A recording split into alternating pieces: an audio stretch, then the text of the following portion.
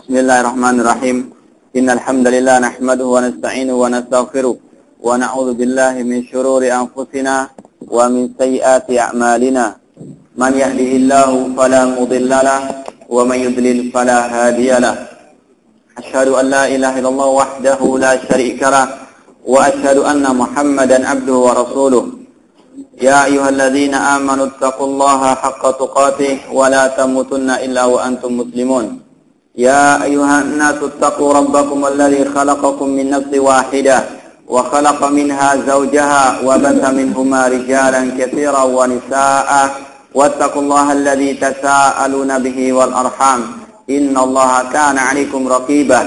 يا أيها الذين آمنوا اتقوا الله وقولوا قولا سديدا. يصلح لكم أعمالكم ويغفر لكم ذنوبكم. ومن يطع الله ورسوله فقد فاز فوزا عظيما. أما بعد فإن أصدق الحديث كتاب الله وخير الهدي هدي محمد صلى الله عليه وسلم وشر الأمور محدثاتها وكل محدثة بدعة وكل بدعة ضلالة وكل ضلالة في النار Ikhwani wa akhwati Bapak, Ibu-ibu, saudara-saudariku rahimani wa rahimakumullah Kita lanjutkan kembali kajian Syarah Aqidah Wasitiyah oleh Syekh Saleh Fauzan Hafizahullah Ta'ala Sekarang kita masih dalam pembahasan iman terhadap hari akhir Atau lanjutan dari kajian iman terhadap Yaumul Akhir Kita baca ucapan Syekhul Islam Taimiyah rahimahullah. Ma yajri fi yaumil qiyamah. Kejadian-kejadian pada hari kiamat. Wa tadnu minhum syamsu wa yuljihimul wa yuljim wa yuljimuhumul araqu. Pada hari itu matahari sangat amat dekat dengan mereka di padang mahsyar. Dan mereka pun tenggelam dengan keringat-keringat mereka. Fatunsabul mawazinu. Kemudian ditancapkanlah ditegakkanlah timbangan-timbangan fatuzanu biha a'malul ibad. Pada hari itulah amal-amal manusia akan ditimbang oleh Allah Subhanahu wa taala. Allah berfirman faman saqulat mawazinuhu faulaika humul muflihun. Barang siapa yang berat timbangan amal kebajikannya maka merekalah orang-orang yang beruntung. Wa man khaffat mawazinuhu faulaika alladziina khasiru anfusahum fi jahannam khalidun dan barang siapa yang sedikit atau ringan amal kebajikannya maka merekalah orang-orang yang merugi dan mereka kekal di dalam neraka. Ayat 102 sampai 103 dari surat Al-Mu'minun. 102 sampai 103 dari surat Al-Mu'minun. Kemudian Syekh Islam Taimiyah mengatakan lagi, "Watun saru ad-dawawinu." Lalu dipaparkanlah catatan-catatan amal para hamba. Wahya sahaiful amal yaitu catatan amal perbuatan. Fa'akhirun kitabahu biyaminihi. Sebagian orang ada yang mengambil catatan amal kebaikannya tersebut dengan tangan kanannya. Wa akhirun kitabahu bishimalihi aw min. Dan sebagian lain ada yang mengambil catatan amal kebaikannya dengan tangan kiri atau dari belakang punggungnya. Kama subhanahu wa ta'ala sebagaimana yang telah Allah firmankan wa kullu insa wa kullu insanin alzamnahu ta'irahu fi 'unuqih. Dan setiap manusia kami tetapkan baginya amal-amal perbuatan sebagaimana tetapnya kalung di lehernya. Wa nukhriju lahu yaumal qiyamati kitaban yalqahu mansura dan kami akan mengeluarkan baginya pada hari kiamat sebuah catatan, sebuah kitab yang akan dipaparkan kepadanya. Iqra kitabak. Dia mengatakan bacalah kitabmu atau catatan amal perbuatanmu. Kafa binafsika liyawma 'anika hasiba. Pada hari itu cukuplah engkau sendiri sebagai penghisap atas dirimu sendiri. Surat Al-Isra ayat 13 sampai 14. Kemudian Syekh Islam mengatakan wa yuhasibullahu al-khalaiqa. Lalu Allah menghisap para hamba-hambanya wa yakhlu bi 'abdihi al-mu'min fa yuqarriruhu bi dhunubihi. Dan Allah pun bersendirian dengan hambanya yang mukmin dan Allah pun menjadikannya mengakui segala dosa-dosanya. Kama usifa zalika fil kitab wa sunnah. Sebagaimana yang tercantum dalam Al-Qur'an dan hadis Nabi sallallahu alaihi wasallam. Wa ammal kuffar fala yuhasabuna muhasabata man tuzan ahsanatu wa sayiatuhu adapun orang-orang kafir maka tidak dihisab sebagaimana penghisapannya orang-orang yang ditimbang amal kebajikannya dan amal kejelekannya. Fa innahum la hasanat sebab orang-orang kafir tidak memiliki kebaikan sama sekali. Walakin tu'addu a'maluhum fatuhfa akan tapi semua amal kejelekannya saja yang diperhitungkan, yang dihitung. Fayuqafuna 'alaiha lalu mereka pun diperlihatkan amal kejelekan-kejelekannya tersebut wa dan mereka pun mengakui atau dijadikan mengakui akan semua kejelekan kejelekan yang mereka kerjakan selama di dunia ini. Ini sebagian kejadian yang akan terjadi pada hari kiamat kelak. Dan wajib bagi seorang mukmin untuk mengakui dan mengimani serta membenarkan akan semua kejadian-kejadian ini karena termasuk rukun iman yang atau rukun iman yang enam yaitu al-iman bil yaumi al-akhir. Kita lihat penjelasan dari atau syarah dari Syekh Saleh bin Fauzan Al-Fauzan hafizahullah taala. Zakara Syekh rahimahullah fi hadzal kalami ba'd ma yajri fi yaumil qiyamati. Syekh Islam Taimiyah rahimahullah menyebutkan di dalam ucapannya di atas ini sebagian kejadian pada hari kiamat kelak. Mimma dzukra fil kitab wa sunnah. Sebagaimana yang disebutkan dalam Al-Qur'an dan sunnah itu hadis Nabi sallallahu alaihi wasallam yang sahih, bukan yang dhaif. Adapun yang dhaif maka tidak bisa dijadikan pegangan, terutama dalam masalah ghaib, masalah hari akhir. Fa inna tafasila ma yajri fi hadzal yaum mimma la yudrak bil akli. Sesungguhnya pembahasan, perincian kejadian-kejadian pada hari kiamat kelak itu tidaklah bisa dicapai oleh akal perbu akal manusia.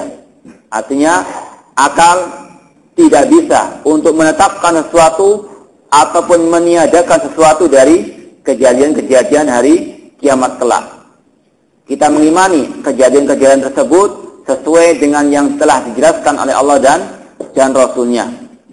Meskipun terkadang akal kita masih belum bisa menerima, tapi wajib untuk kita membenarkan dan mengimaninya.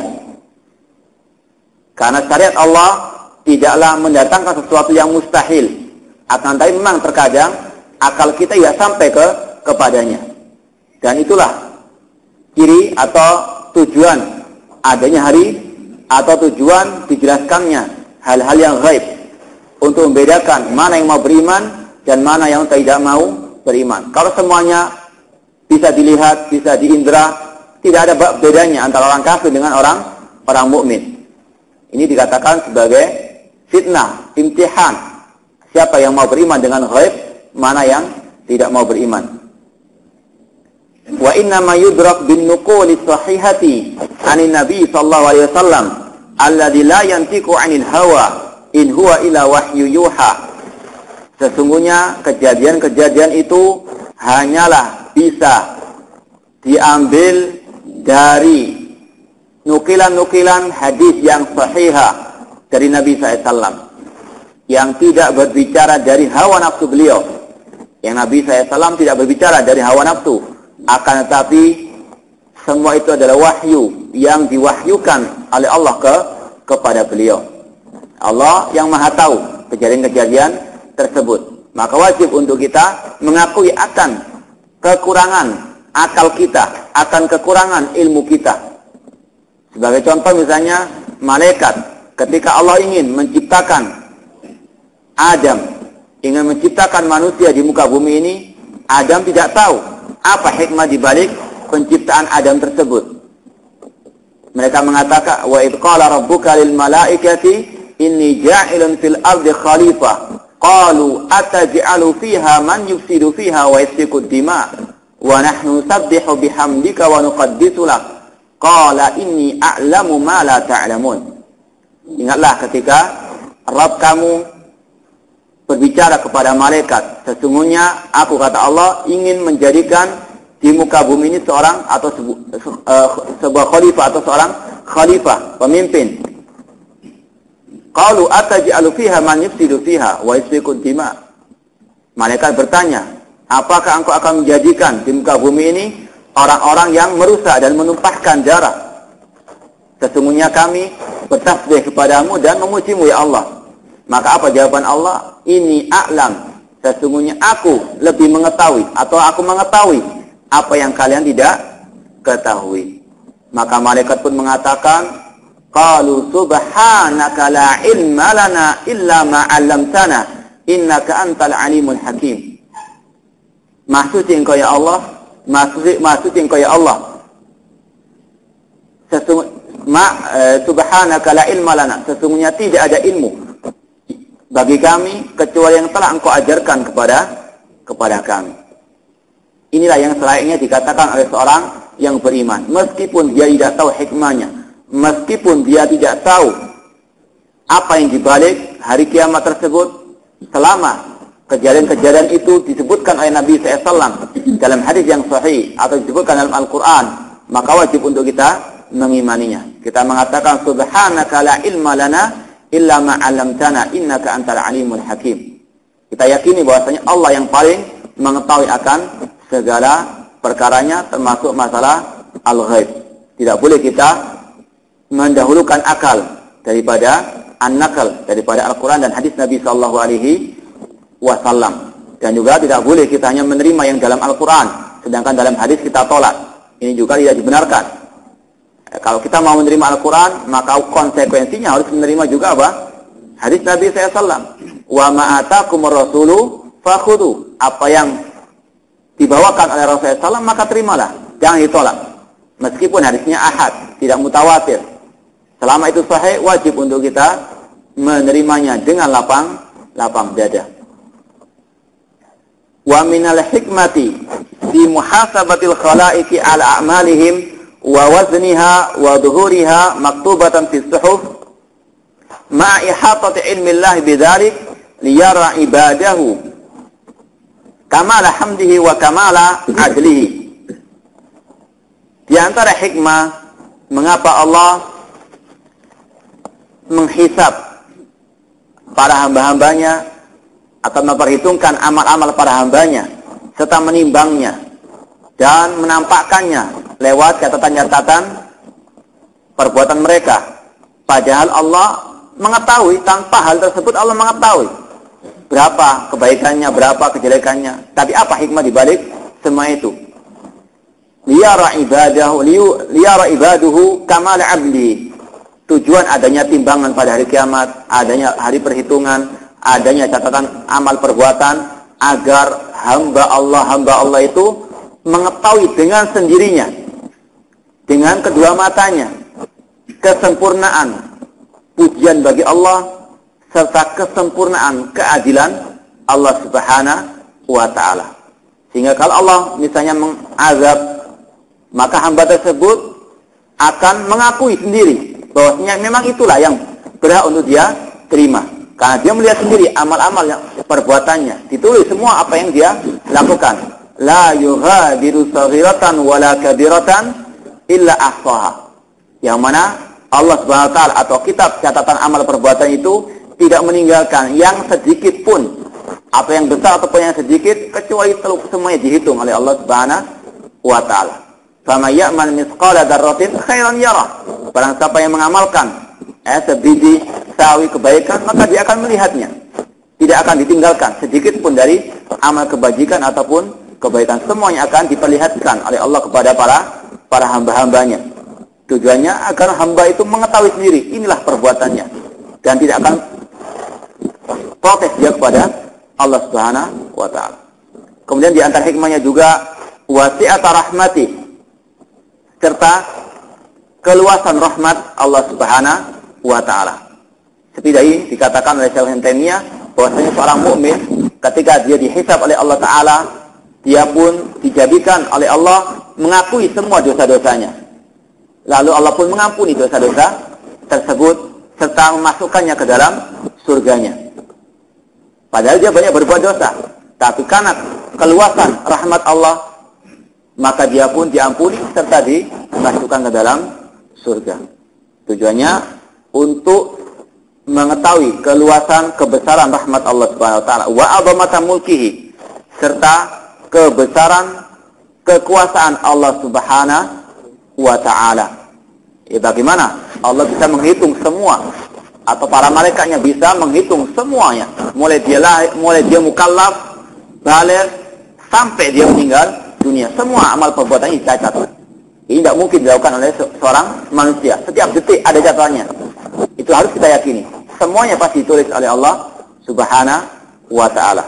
Ini tidak akan mungkin dilakukan oleh makhluk yang bisa hanyalah al-khaliq Allah subhanahu wa ta'ala Wa dzakara Syekhu mimma yajri fi hadzal yaumil azim 'ala al-ibad. Kemudian Syekh yang Taimiyah menyebutkan beberapa kejadian dalam ucapan beliau di atas. Di sini ada empat kejadian. Yang pertama, antadnuwa minhum syamsu yaitu mendekatnya matahari dari manusia atau matahari itu sangat dekat dengan manusia. Ai takrubu min ru'usihim matahari itu amat dekat dengan kepala-kepala manusia. Eh, kalau di dunia ini sangat amat jauh. Meskipun sangat jauh, tetapi kalau sudah waktu zawal, sudah waktu dohor, itu terasa panasnya, panasnya terik matahari. Ini masih amat jauh. Tapi kalau hari kiamat didekatkan oleh Allah Subhanahu wa taala.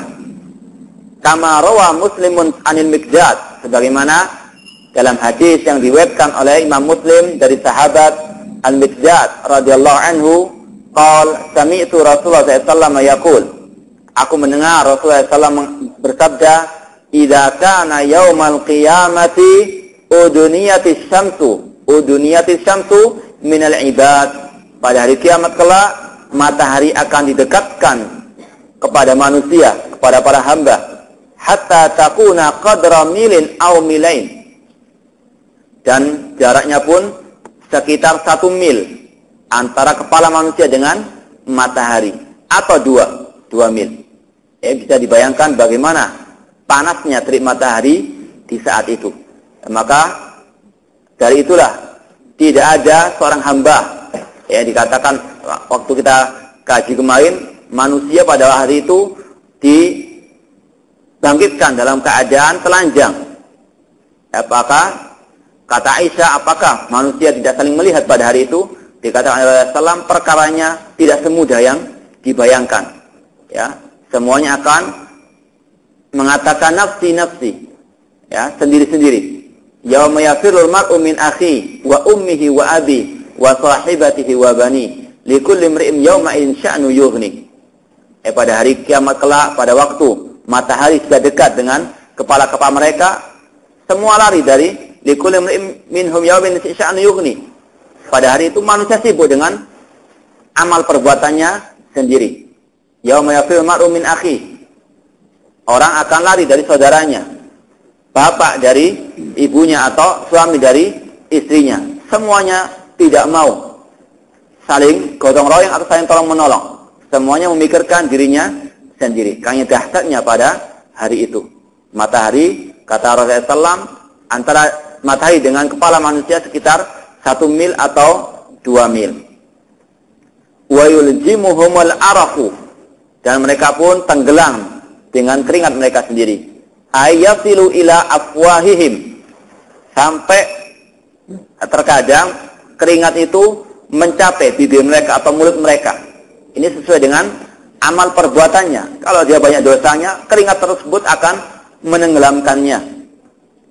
Mungkin ada di antara kita yang bertanya, kalau sesuai dengan amal perbuatannya berarti semuanya apa? Berbeda. Artinya setiap orang berbeda keringatnya. Ada yang ditenggelamkan sampai ke bibir, ada yang sampai perut, ada yang naik lutut. Mungkin tidak bisa tergambarkan.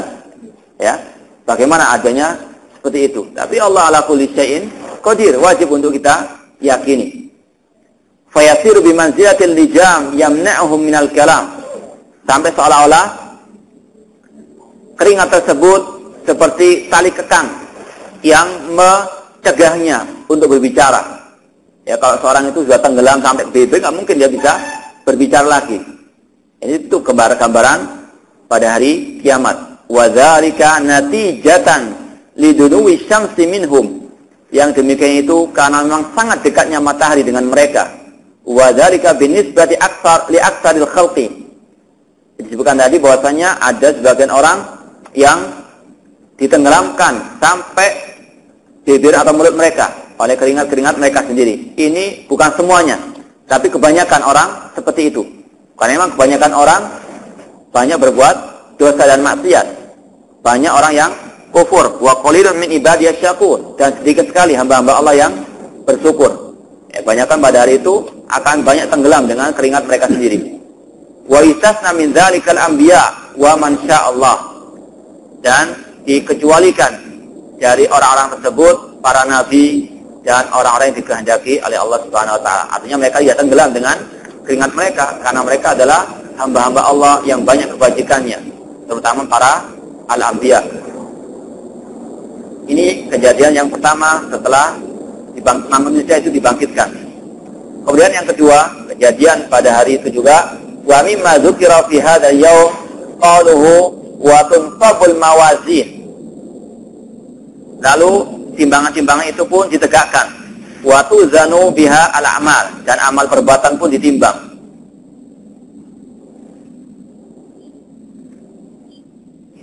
Al-mawazinu jam'u mizan Mawazin kalau bahasa Arabnya itu jamak, tunggalnya itu mizan.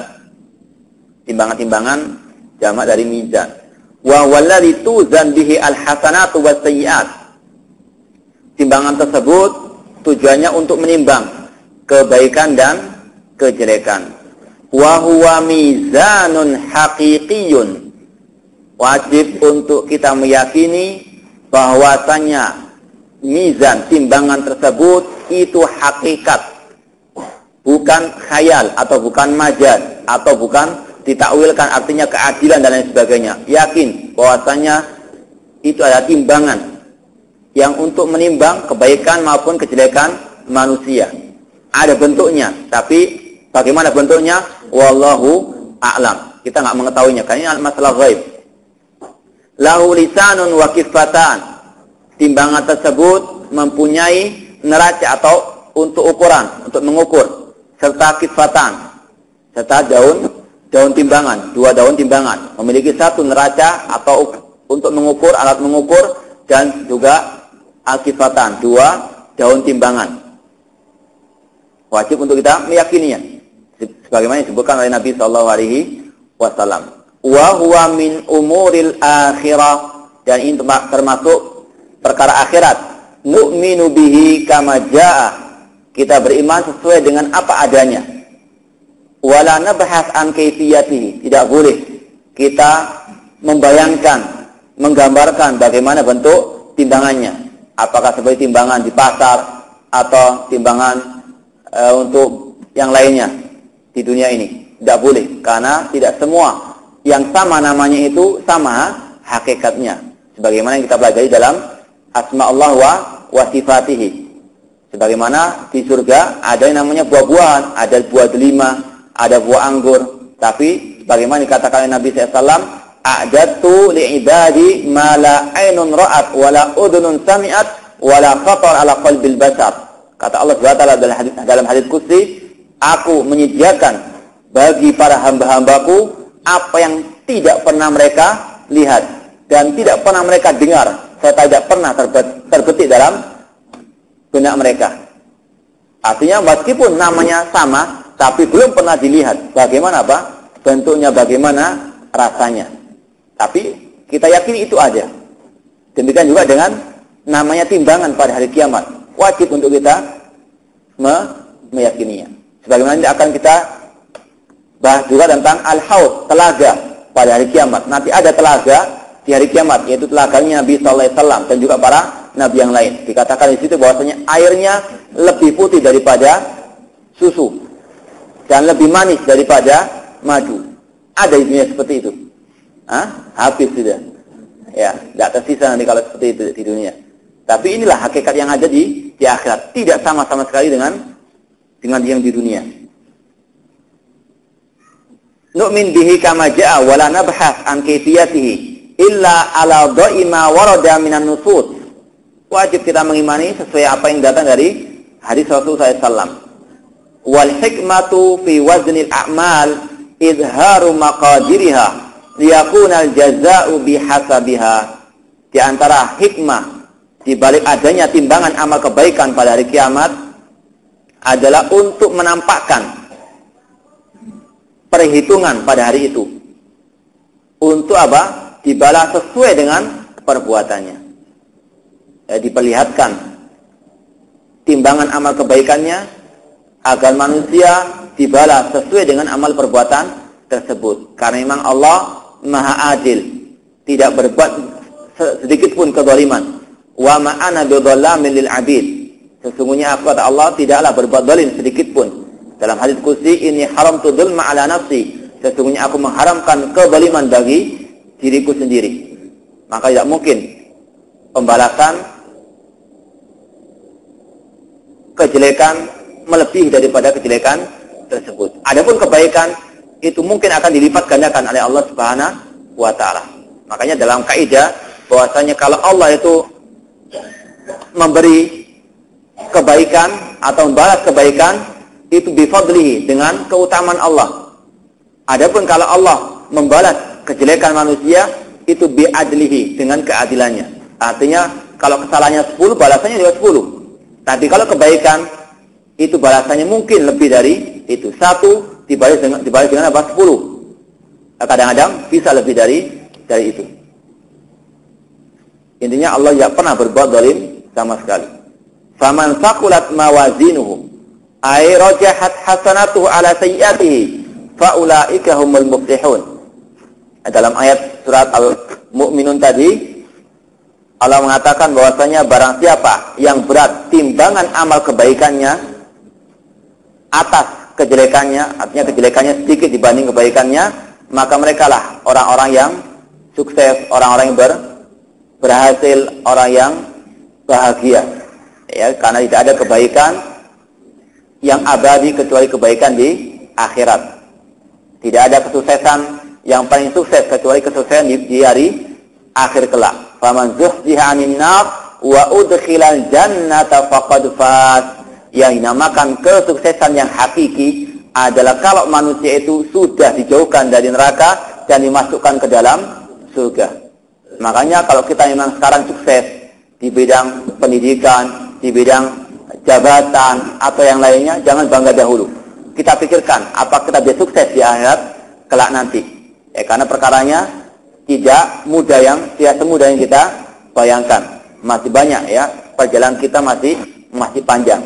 Banyak-banyaklah kita berdoa semoga Allah yuthabbituna menguatkan kita bil qauli tsabit fil hayati dunya wa fil akhirah dan banyak juga berdoa ya muqallibal qulub tsabbit qulubana ala taatik atau ala dinik ya muqallibal qulub wahai yang bolak-balikan hati tetapkanlah hati kami di atas agamamu faulaika humul muflihun barang siapa yang berat amal timbangan kebaikannya maka merekalah orang-orang yang yang baik. Dan kita juga tidak bisa menjamin meskipun kita tiap hari beramal kebaikan ya sholat malam tidak pernah terlewatkan, sholat-sholat sunnah tidak pernah terlewatkan, jangan bangga dahulu. Ya, tidak semua amal kebajikan kita itu diterima oleh Allah Subhanahu wa taala.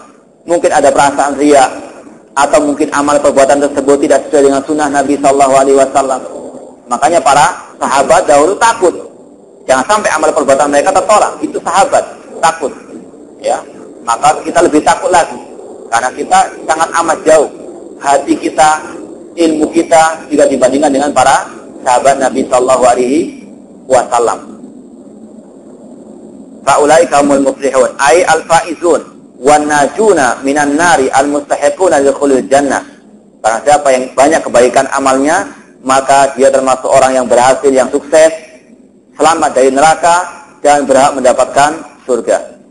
Wa man khafat mawazinu namun barang siapa yang ringan amal timbangannya, aisakulat sayi'atuhu ala hasanatihi. Kejelekannya itu lebih banyak daripada kebaikannya. Fa'ulaika alladhina khasiru anfusahum. Mereka lah orang-orang yang merugi. Ay khabu wa ilan nar. Merugi dan akan dimasukkan ke dalam neraka. Fi jahannam khalidun. Di dalam neraka kekal selama-lamanya. Ay makisuna finnar. Tinggal di dalam neraka. Kalau kekal itu khusus bagi orang kafir. Adapun pelaku dosa besar dari orang-orang beriman, maka meskipun kalau dia dimasukkan ke dalam neraka, pasti suatu saat akan dimasukkan, akan dikeluarkan dari neraka dan dimasukkan ke dalam ke dalam surga Allah Subhanahu wa taala. Bahkan dikatakan orang yang tidak beramal sama sekali itu kalau masih ada keimanan di dalam dirinya, masih ada Islam dalam dirinya akan diangkat dari dari neraka. Tapi ketahuilah bahwasanya azab di neraka sangat amat pedih. Jangan sampai kita mengatakan, wah yang penting soal kalau beriman, saat masuk, masuk surga. Ya kita menginginkan langsung masuk surga Allah Subhanahu wa taala. Bahkan dikatakan bahwasanya masuk di dalam neraka satu harinya itu sudah berlipat ganda jika dibandingkan dengan dunia ini lamanya. Mungkin bisa dibandingkan seribu kali ahqaba. Ahqaba itu berabad-abad lamanya. Ya, itu bukan kekal abadi, tapi berabad-abad lamanya di di neraka. Kullama najat juluduhum badalnahum juludan ghairaha liyadzuqul adab. Setiap kulit mereka hancur diganti lagi dengan kulit yang baru sampai terakhir.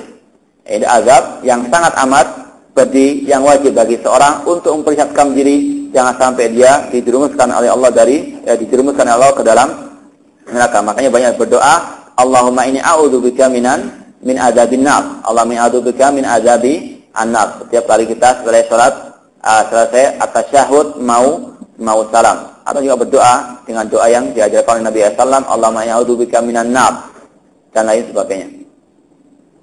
Wa syahid minal ayatil karima anna fiha isbatil mawazin. Di dalam ayat di atas terdapat penetapan tim adanya timbangan pada hari kiamat kelak. Waqad warada dzikrul wazni wal mawazin fi ayatin katsiratin minal Qur'an. Di dalam Al-Qur'an banyak sekali disebutkan tentang kata-kata al-mizan, timbangan. Waqad afada majmu'un nusus anna yuzanul amil wal amal was suhuf. Dari nas-nas yang ada tentang penyebutan timbangan itu ada tiga hal yang ditimbang pada hari kiamat kelak.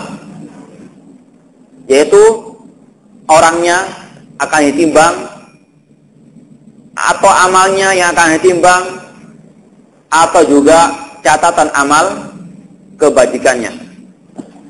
Ya kalau dilihat kata beliau nas-nas atau hadis-hadis ayat-ayat Al-Quran itu ada tiga hal yang ditimbang oleh Allah Subhanahu Wa Taala.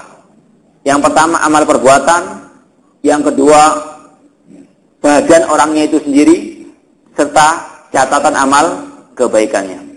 Adapun masalah ditimbangnya amal kebaikan ini sudah kita lewati ayat-ayatnya. Sama sakulat mawazinu, barang siapa yang berat amal timbangannya, itu amal yang ditimbang. Adapun yang ditimbang itu catatan amal kebaikannya sebagaimana dalam hadis bitokoh.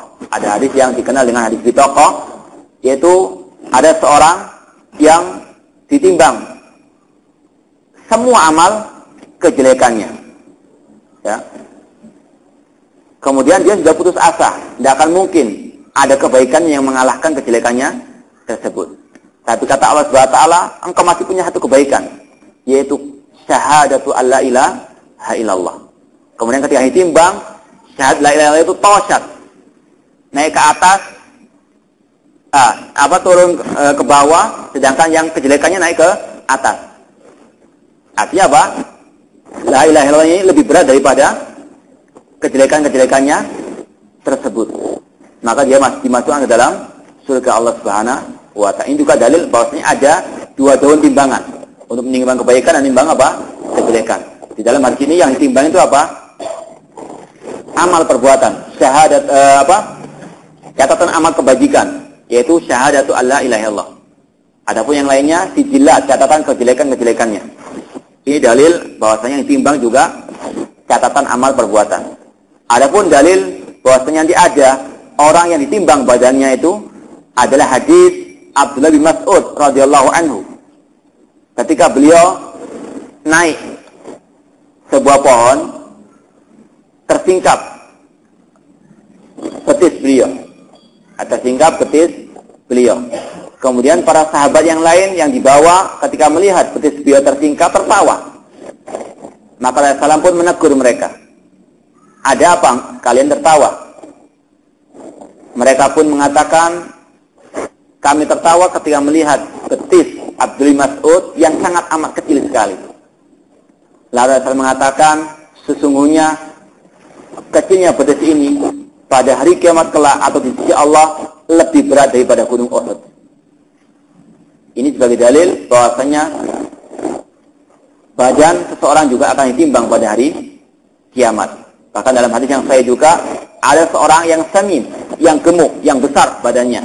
Tapi ketika ditimbang oleh Allah Subhanahu wa taala tidaklah melebihi beratnya seekor nyamuk atau sayapnya seekor nyamuk. Makanya semuanya nggak bisa diukur ya dengan apa yang ada di dunia ini. Ya orangnya gemuk tapi hatinya kosong, percuma. Yang penting itu hatinya. Tapi hati harus ada pancarannya dalam apa? Ucapan serta amal perbu perbuatan. Makanya semuanya jangan diukur dengan dunia. Ukur semuanya dengan apa yang ada di sisi Allah Subhanahu wa taala. Tapi kata para ulama, memang ini ada perselisihan juga. Apakah setiap orang yang ditimbang amal perbuatannya, berat badannya, atau catatan amal kebaikannya, tiga-tiganya dihitung semuanya? Sebagian mengatakan iya, sebagian lagi tidak. Artinya sebagian secara umum atau secara asal yang ditimbang itu hanya kebajikan atau kejelekannya. Adapun badan orang tersebut atau catatan amal tersebut itu hanya sebagian orang saja yang dikhususkan oleh Allah untuk ditimbang bah, badannya atau ditimbang catatan amal kebajikannya. Karena memang tidak ada nas apakah semuanya ditimbang badannya atau ditimbang catatan amal perbuatannya. Tapi dalam hadis tadi yang dikatakan oleh Salam hanyalah Abdul Mas'ud, eh bukan semua semua orang. Oleh karena itu para ulama berselisih dalam masalah ini. Apakah semuanya ditimbang tiga-tiganya timbang atau satu saja yaitu amal kebajikan atau kejelekannya. Adapun yang lain hanya pengecualian sebagian orang. Wala munafata bainaha. Kata Syekh Fauzan di sini tidak ada tidak ada apa namanya pertentangan dalam tiga-tiga hal tersebut. Artinya semua ada dalam hadis, maka wajib untuk kita imani. Fal yuzan. Semuanya akan ditimbang. Walakin al-i'tibar fi wal khifah yakunu bil amali nafsihi la bizatil amil wala bisahifati akan tapi kata beliau ukurannya atau ukuran berat atau ringannya timbangan tersebut sesuai dengan amal perbuatan manusia itu. Bukan pada berat badan seorang atau bukan pada catatan catatannya. Ya intinya semuanya itu kembali kepada amal perbuatan manusia. Faman saqulat mawazinuhu faulaika humul muflihun la bidatil amin wala bi as-sahifa wallahu a'lam. Wa qad ta'awwala al-mu'tazilatu an-nususa fi dzalik. Ada sekelompok atau aliran Mu'tazilah rasionalisme yang suka mengandalkan akal. Mereka mentakwilkan, menyimpangkan makna mizan timbangan ini kepada makna yang yang lain yaitu al-adil, keadilan. Artinya mereka tidak meyakini akan adanya timbangan dengan dua daunnya, dengan neracanya, tapi mereka mengatakan, nah itu cuma sekedar simbol saja. Sebagaimana kita mendengar sebagai orang mengatakan, bahwasanya Dajjal itu hanya simbol banyaknya kemungkaran. Dajjal itu tidak ada, bentuknya manusia tidak ada. Itu hanya simbol. Ini jelas takwil, jelas mengikuti jejaknya orang-orang Yahudi yang dikatakan oleh Allah Taala yuharrifuna al-kalim an mawadhi'i. Mereka orang yang Yahud suka apa? Mengotak-atik kitab-kitab Allah Subhanahu wa taala. Tidak mengimani seperti apa adanya. Oh bukan dajjal tapi hanya simbol. Padahal katakan Rasulullah dia dari Bani Adam, manusia. Mempunyai dua mata yang yang cacat dan lain sebagainya.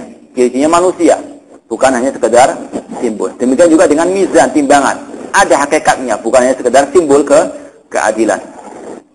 Wahada ta'wilun fasidun. Takwil Mu'tazilah ini takwil yang fasid. Mukhalifun linusus, menyelisihi nas-nas syariat. Wa ijma'i salafil umma wa immatiha. Juga menyelisihi ijma' para salaf serta para imam-imam ahli sunnati wal jamaah. Qala Syaukani Qala berkata Imam Syaukani rahimahullah wa ghayatu ma tashabbatu bihi mujarradul istib'adil aqliyati. Mereka yaitu orang-orang Mu'tazilah ketika menolak adanya timbangan pada hari kiamat itu hanyalah beralasan dengan akal mereka. Mereka mengatakan tidak tidak mungkin adanya apa? Satu timbangan kemudian menimbang semua semua orang. Ya mereka tidak mempercayai akan adanya timbangan pada hari kiamat kelak. Walaysa fi dzalika hujjatun ala ahad. Kata Imam Asy-Syaukani, dan ini tidak bisa jadikan hujah. Ya, akal tidak bisa dijadikan hujah. Karena akal manusia juga apa? Berbeda-beda, bertingkat-tingkat. Kadang suatu hal dia mengatakan orang lain orang satu mengatakan diterima, nah, yang lain mengatakan ditolak.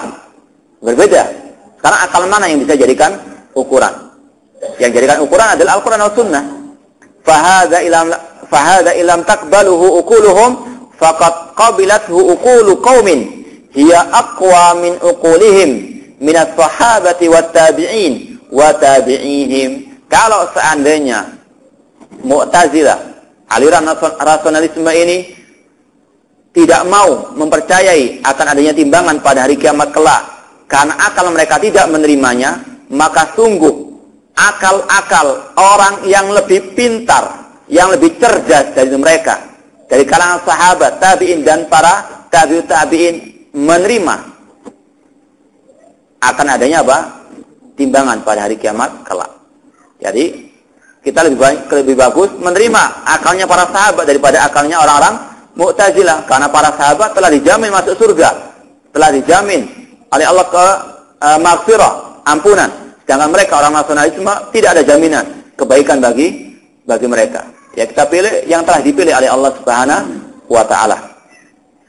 Hatta ja'atil bid'ah kalailil mudlim. Eh para sahabat tabi'in, tabi'ut tabi'in, para imam ahli sunnah, Imam Syafi'i, Imam Ahmad, Imam Abu Hanifah, Imam Malik, semuanya menerima akan akidah adanya timbangan pada hari kiamat kelak. Tapi datang ya tiba-tiba bid'ah seperti malam yang gelap gulita. Wa qala kullu ma syaa wa taraku syar'a khalfa. Datang suatu kaum yang mereka mengatakan seenak mulutnya. Wa taraku syar'a. Dan mereka meninggalkan syariat Allah di belakang punggung-punggung mereka. Ini ucapan Imam Asy-Syaukani rahimallahu taala. Wa umurul akhirah laisat mimma tudrikuhal uqul. Perkara akhirat itu tidak bisa digapai dengan akal pikiran manusia. Manusia hanya diwajibkan untuk beriman. Adapun masuk akal atau tidak itu urusan belakang. Kalau nggak percaya mati dulu nanti akan mengetahui. Nah, wallahu a'lam. Ini dua kejadian pada hari kiamat kelak, yaitu adanya matahari yang dekat dengan manusia serta adanya timbangan pada hari kiamat. Sebelum kita teruskan, mungkin ada yang ditanyakan, silahkan.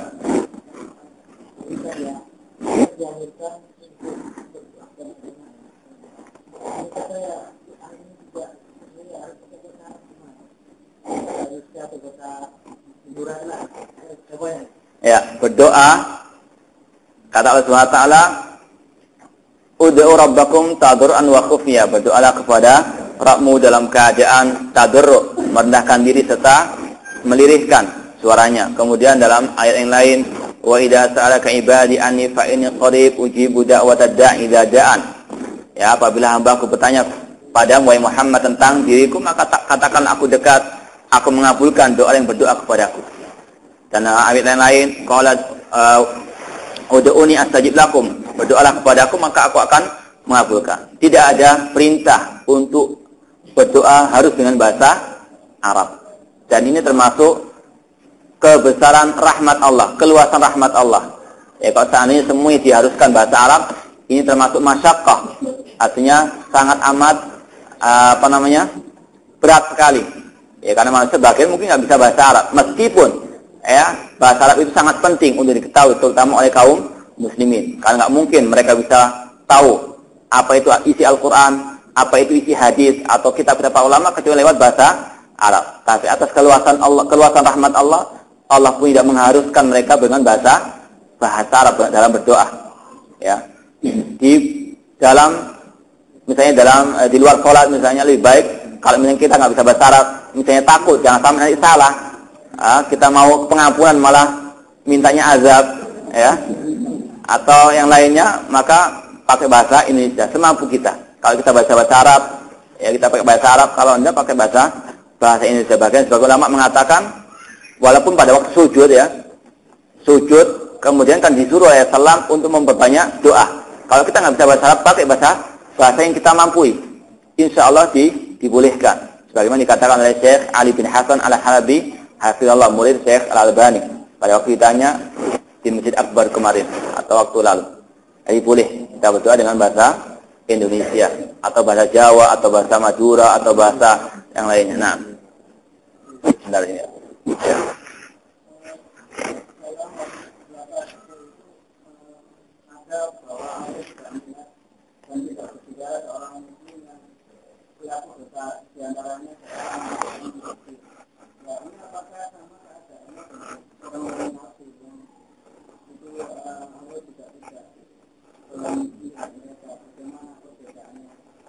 Iya. Disebutkan dalam hari yang sahih bahwasanya ma min ahadin illa wa sayukallimuhu rabbuhu laisa bainahu wa bainahu turjuman.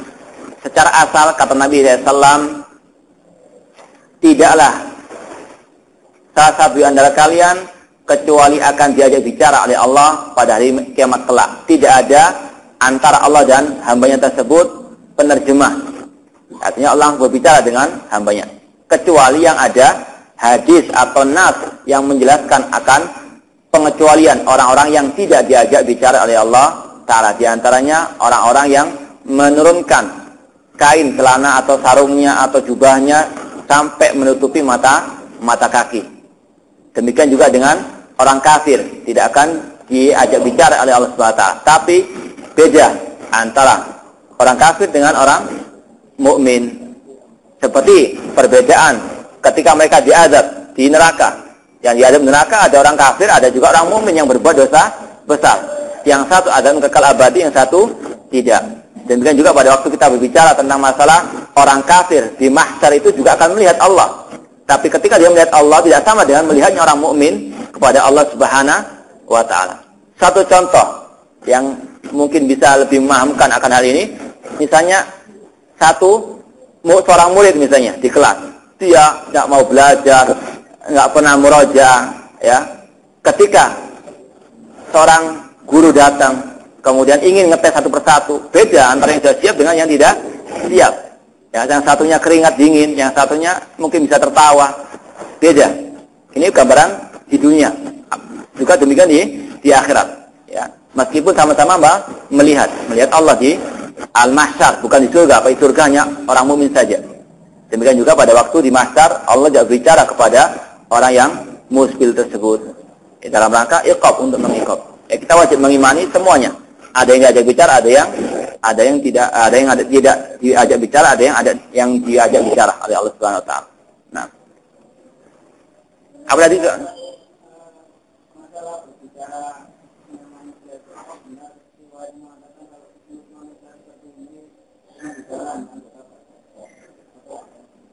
Iya, sebagainya memang begitu dalam Yasin. Ya mungkin yang sering baca Yasin hari Jumat. Ya meskipun tidak ada dalilnya. Al-yawma nakhtimu ala afwahihim wa tukallimuna aydihim wa tashhadu arjuluhum bima kanu yaktibun. Eh pada hari itu nakhtimu kami kunci atau kami tutup ya, nakhtimu ala afwahihim mulut-mulut mereka. Dan yang berbicara apa tangan-tangan mereka. Dan dalam ayat yang lain yang berbicara adalah kulit-kulit mereka. Wa qalu li junudihim lima antak lima antakan lima asyhatum alaina. Yang mereka mengatakan, "Mengapa wahai kulit-kulitku engkau menyaksikan aku tak pada Allah Subhanahu wa taala?" Kita imani semuanya.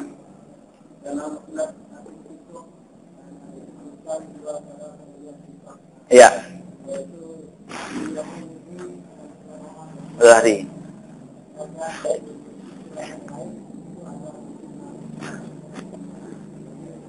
Ya, sebetulnya itu akan dikaji pada waktu ini poin yang ketiga.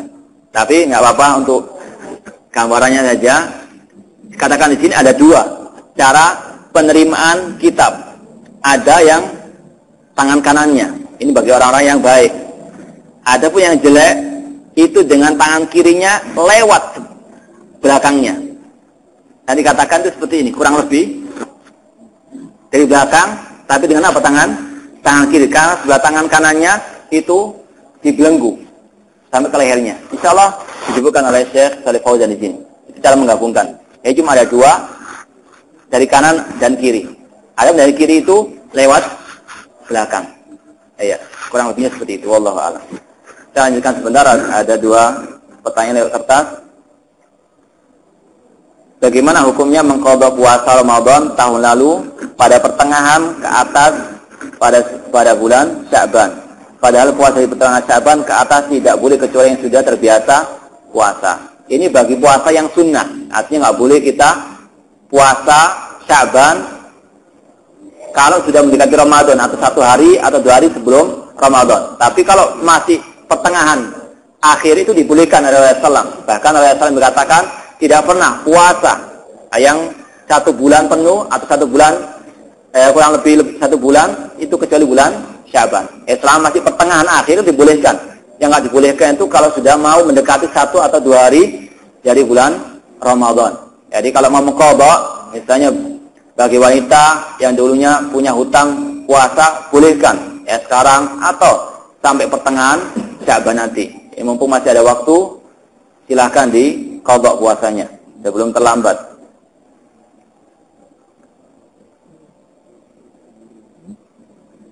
Bagaimana cara menempelkan atau merapatkan kaki pada waktu sholat yang benar sesuai dengan contoh para para salam atau contoh Rasulullah yang menempelkan antara bahu dengan bahu, ya. Kemudian antara tumit dengan tumit. Ini caranya untuk merapatkan asal. Jangan merapatkan tumit, tapi menggalnya satu ya satu meter. Ini tidak dibenarkan. Karena sebagian gitu, ya tumitnya masya rapat, cuma jauh sekali ini. Ya, makanya sebagian harus memahami Pak. Dan juga itu uh, biar uh, meluaskan soft, artinya biar orang bisa masuk dalam soft. Jangan terlalu lebar dan juga jangan terlalu sempit. Ya, khair umuri awsatuha. Sebaik-baik perkara itu yang pertengahan. Wallahu taala alam. Kita cukupkan kajian kita pada malam hari ini. Mudah-mudahan bermanfaat dan semoga Allah menyelamatkan kita dari dahsyatnya kiamat dan dari adab Allah di hari kiamat kelak. Wa aqulu qouli hadza wa akhiru da'wana alhamdulillahi rabbil alamin.